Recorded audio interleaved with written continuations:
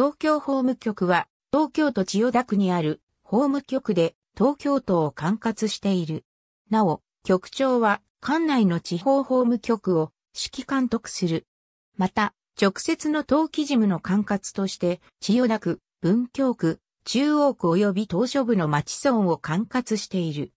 青年貢献登記、動産譲渡登記、再建譲渡登記は、本局が全国を管轄している。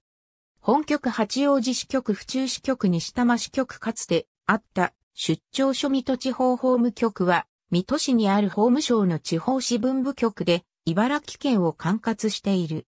また、直接の登記事務の管轄として、不動産登記は、水戸市、中市、日立中市、笠間市、東茨城郡、中郡を管轄している。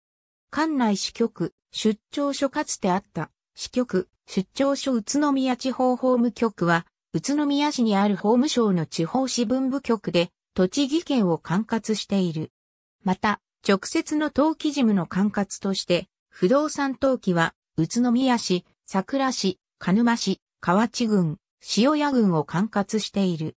管内支局、出張所かつてあった支局、出張所前橋地方法務局は、前橋市にある法務省の地方支分部局で、群馬県を管轄している。また、直接の登記事務の管轄として、不動産登記は前橋市、渋川市を管轄している。管内支局、出張所埼玉地方法務局は、埼玉市にある法務省の地方支分部局で、埼玉県を管轄している。また、直接の登記事務の管轄として、不動産登記は、埼玉市、戸田市、蕨市を管轄してる。埼玉第二法務総合庁舎内にある。管内支局、出張所千葉地方法務局は、千葉市にある法務省の地方支分部局で、千葉県を管轄している。また、直接の登記事務の管轄として、不動産登記は、千葉市、習志野市を管轄している。管内支局、出張所横浜地方法務局は、横浜市にある法務省の地方支分部局で、神奈川県を管轄している。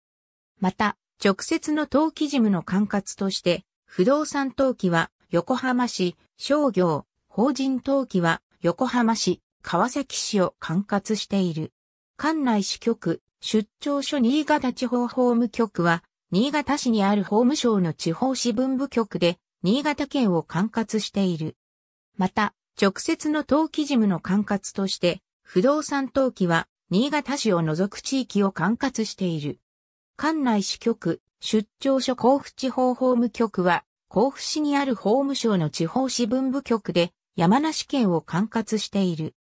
また、直接の登記事務の管轄として、甲府市、海野市、中央市、中駒郡、南アルプス市、笛吹市を管轄している。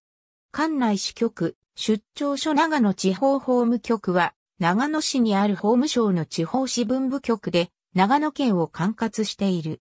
また、直接の登記事務の管轄として、長野市、須坂市、選挙区市、上美野地郡、上高井郡を管轄している。管内支局、出張所静岡地方法務局は、静岡市にある法務省の地方支分部局で、静岡県を管轄している。また、直接の登記事務の管轄として、不動産登記は静岡市、商業、法人登記は静岡市、藤枝市、島田市、牧野原市、焼津市、灰原郡を管轄している。管内支局、出張所。ありがとうございます。